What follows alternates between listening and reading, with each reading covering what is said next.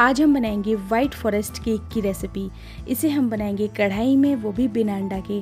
तो इस वीडियो को बिल्कुल भी मिस ना करें, क्योंकि ये वाइट फॉरेस्ट केक की रेसिपी मैंने बहुत आसान तरीके से बताई है और स्टेप बाय स्टेप है।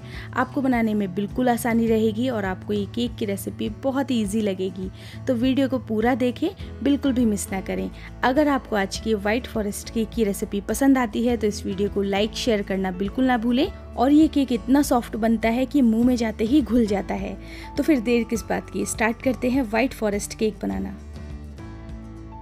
केक बनाने के लिए हम सबसे पहले इसका स्पॉन्ज रेडी करेंगे। तो हम एक बर्तन में डाल देते हैं एक कप गुनगुना दूध। हमें यहाँ पे दूध जो है हल्का सा गर्म लेना है। इसमें हम डाल देते हैं विनेगर। तो ये वाइट विनेगर है, एकदम प्लेन वाला, आधा बड़ा चम्मच विनेगर इस्तेमाल करेंगे। कोई भी फ्लेवर वाला विनेगर नहीं डालें, एकदम प्लेन वाला वाइट विनेगर डालें इसमें। विनेगर डालने के बाद हमने इसको हल्का सा मिक्स कर दिया है और इसे पाँच मिनट के लिए हम रेस्ट करने के लिए छोड़ देते हैं ताकि ये बटर मिल्क में कन्वर्ट हो जाए। और जब पाँच मिनट हो जाएँगे, उसके बाद हमें इसमें बाकी की चीज़ें ऐड करनी है तो हम इसमें डाल देते हैं one third cup unflavoured oil यानी बिना किसी स्मेल का तेल इस्तेमाल करें, जिसमें कोई भी फ्लेवर ना हो स्मेल ना हो, वो वाला तेल इस्तेमाल करें। या फिर आप चाहें तो मेल्ट करके और ठंडा करके बटर भी डाल सकते हैं। ऑयल डालने के बाद हमने इसको अच्छे से मिक्स कर दिया है। तो इसको एक अच्छा सा मिक्स कर दें। फिर हम इसमें शुगर ऐड कर देते हैं। तो यहाँ पे हमें पिसी हुई चीनी लेनी है। ये रेगुलर चीनी है जो हम नॉर्मल घर में इस्तेमाल करते हैं। इसे मैंने मिक्सी में पीस लिया है। चीनी हमने आधा कप इस्तेमाल की है। तो जितना हम केक बना रहे हैं, चीनी का मेज़रमेंट एकदम परफेक्ट है। हमने चीनी को अच्छे से मिक्स कर दिया है। ये देखिए, चीनी भी इसमें अच्छे से मिक्स है। चीनी को भी हमें एकदम फाइन पीसना है। फिर हम इसमें डाल देते हैं वनीला एसेंस आधा छोटा चम्मच। अगर आपके पास एसेंस नहीं है तो आप इसे बिना किसी एसेंस के भी बना सकते हैं, क्योंकि हम इसमें अंडा तो वैसे भी नहीं डालने वाले हैं। फिर हमने ये जो एसेंस है, वो भी मिक्स कर दिया अच्छे से। अब हम एक छलनी रखेंगे और इसमें डाल देते हैं एक कप मैदा। तो यहाँ पे हम टोटल एक कप मैदा डालेंगे। अब केक बनाने के लिए आप मेजरिंग कप और स्पून का ही इस्तेमाल करें। इसी के साथ डाल देते हैं बेकिंग पाउडर एक छोटा चम्मच और आधा छोटा चम्मच डाल देंगे बेकिंग सोडा दोनों का इस्तेमाल करेंगे हम यहाँ पर अब इन तीनों चीज़ों को हम छान देते हैं। अगर आपके पास विनेगर नहीं है तो आप विनेगर को स्किप कर सकते हैं। हमने यहाँ पे बेकिंग पाउडर सोडा तो डाला ही है। अब इनको अच्छे से मिक्स कर देंगे। आपको इसको तब तक मिक्स कर देना है जब तक ये पूरी तरह से स्मूथ नहीं हो जाता। इसका टेक्सचर पूरी तरह से स्मूथ हो जाना चाहिए, तब तक आप इसे एक ही डायरेक्शन में मिक्स करते रहें।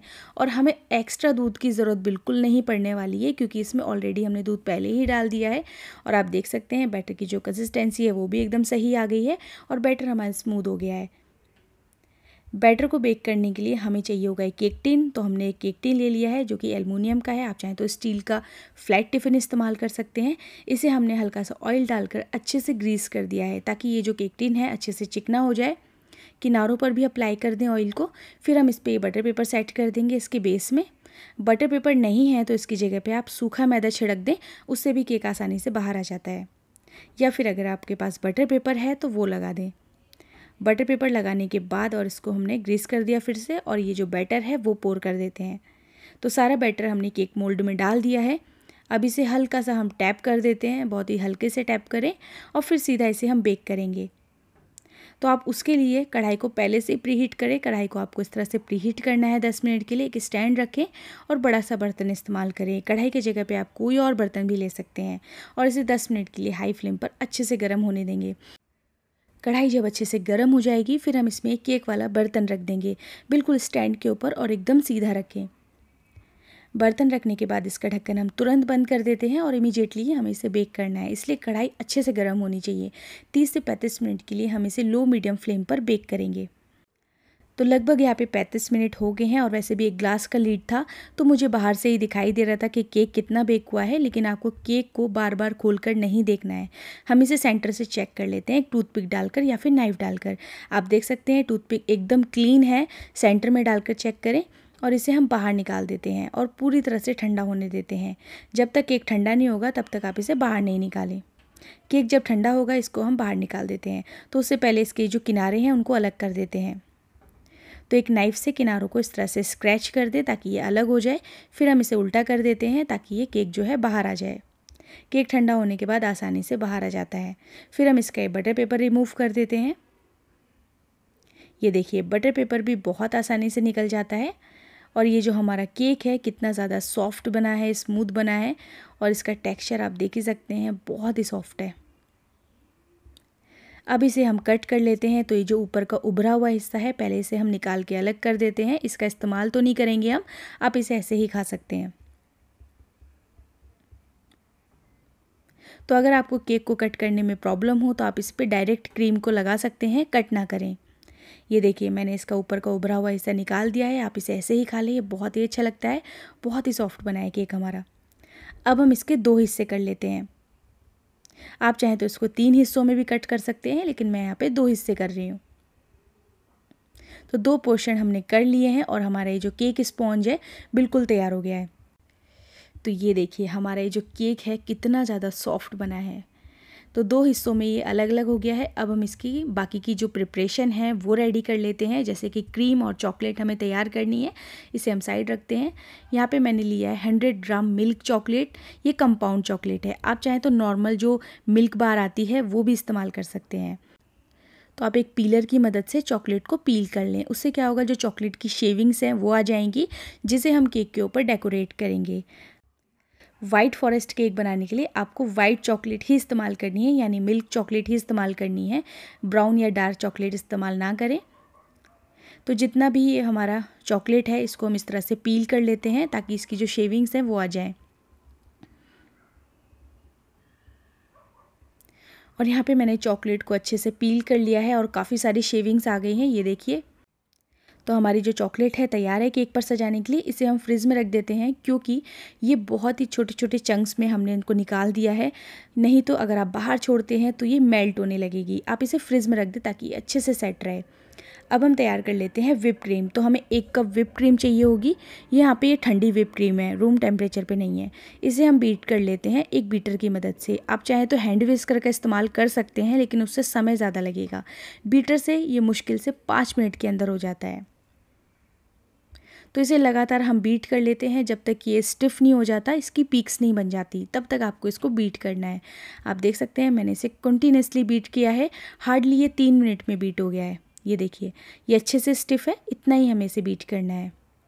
तो विप क्रीम भी हमारी रेडी हो गई है और इस विप क्रीम में ऑलरेडी शुगर और एसेंस भी मिक्स होता है। हमें इसमें कुछ भी मिक्स करने की ज़रूरत नहीं है। अब हम केक को असेंबल करेंगे तो केक को असेंबल करने के लिए हम एक फाइनल ट्रे ले लेंगे या प्लेट ले लेंगे और इस पर हल्की सी हमने विप क्रीम डाल दी और फिर इस पर स्पॉन्ज रख देंगे ताकि ये इस पर स्टिक रहे। और ऊपर से पोर कर देते हैं शुगर सिरप चीनी और पानी के घोल को तैयार कर लें और उस पर पोर कर दें। उससे आपका जो स्पॉन्ज है वो मीठा भी हो जाएगा अच्छे से और ये बहुत ही सॉफ्ट और स्पॉन्जी भी हो जाएगा। अगर आप इसे एक्स्ट्रा मीठा नहीं करना चाहते हैं तो सिर्फ़ पानी भी डाल सकते हैं। तो थोड़े से पानी में ही आपको चीनी को घोल लेना है। इस तरह से आपका जो शुगर सिरप है वो तैयार हो जाएगा। अब हम इसके ऊपर लगा देते हैं ये विप क्रीम। तो आपको विप क्रीम इस तरह से लगानी है या फिर आप चाहें तो डायरेक्ट भी किसी नाइफ़ की या फिर स्पैचुला की मदद से लगा सकते हैं। तो मैंने इसे पाइपिंग बैग में भर लिया है ताकि ये इक्वल लग जाए अच्छे से। और जब विप क्रीम लग गई है अंदर तो हम इसके ऊपर ये लगा देते हैं दूसरा वाला सेकंड बेस तो बीच में क्रीम लगाने के बाद हमने इस पर सेकेंड बेस भी रख दिया है। इसके ऊपर भी हम डाल देते हैं शुगर सिरप अगर आप चाहें तो शुगर सिरप ना डालें, आप डायरेक्ट भी क्रीम को लगा सकते हैं। बस हम इसलिए डाल रहे हैं ताकि जो हमारा केक है, वो सुपर मॉइस्ड बने। वापस से इस पर ये क्रीम जो है वो अप्लाई कर देते हैं। मैंने पाइपिन बैग में भर के इसको अच्छे से अप्लाई किया है इस तरह से। ये देखिए, हमने इसको अच्छे से अप्लाई किया, किनारों पर भी इसे अप्लाई कर देते हैं और हमें पूरे केक को कवर कर देना है विप क्रीम से और उसके बाद हम इसे सेट भी कर लेंगे। कवर करने के बाद आपको इस तरह से सेट कर लेना है। तो ऊपर से भी हम इसे लेवल कर देते हैं। क्रीम आपको एकदम लेवल करके लगानी है। हमें क्रीम में बहुत ज़्यादा फिनिशिंग नहीं देनी है क्योंकि हम इस पर चॉकलेट डालने वाले हैं। तो इस केक की सबसे ज़्यादा आसान बात यही है कि अगर आपको केक की बहुत ज़्यादा फिनिशिंग करनी नहीं भी आती है तो भी आप इस केक को बना सकते हैं, क्योंकि हम इसे चॉकलेट से कवर करेंगे। उसके बाद ये बहुत ही अच्छा दिखाई देगा। जितनी भी किनारों पर ये एक्स्ट्रा क्रीम दिखाई दे रही है, इसे हम एक टिश्यू पेपर की मदद से साफ़ कर देते हैं। आप इसे तुरंत ही साफ़ कर दें, नहीं तो जब ये सूख जाएगी तो थोड़ा प्रॉब्लम होता है क्लीन करने में। क्रीम को हमने अच्छे से क्लीन कर दिया है आसपास से, अब हम इसके ऊपर चॉकलेट डालेंगे। तो ये जो हमारी चॉकलेट है अच्छे से तैयार हो गई है, मैंने इसे फ्रिज में रखा था, आप देख सकते हैं, ये अलग अलग है और बहुत ही अच्छे से खिली खिली है। अगर आप इसे बाहर छोड़ देते हैं तो ये थोड़ी सी जो है वेट हो जाती है। तो टॉप पे हम इस तरह से चॉकलेट को बिखेर देते हैं पूरी तरह से। तो एक मोटी सी लेयर बिछा देंगे टॉप पर। आप चाहें तो चॉकलेट को स्किप कर सकते हैं, सिर्फ़ आप इसे विप क्रीम से भी रेडी कर सकते हैं, लेकिन चॉकलेट की वजह से बहुत ही अच्छा टेस्ट आता है इस केक में, या फिर चॉकलेट को आप मेल्ट करके भी डाल सकते हैं, जैसे आपको पसंद है। किनारों पर भी हम जो है चॉकलेट को लगा देते हैं। किनारों पर मैंने ज़्यादा नहीं लगाया है और बाद में चॉकलेट को क्लीन कर लें जो भी आसपास गिरे।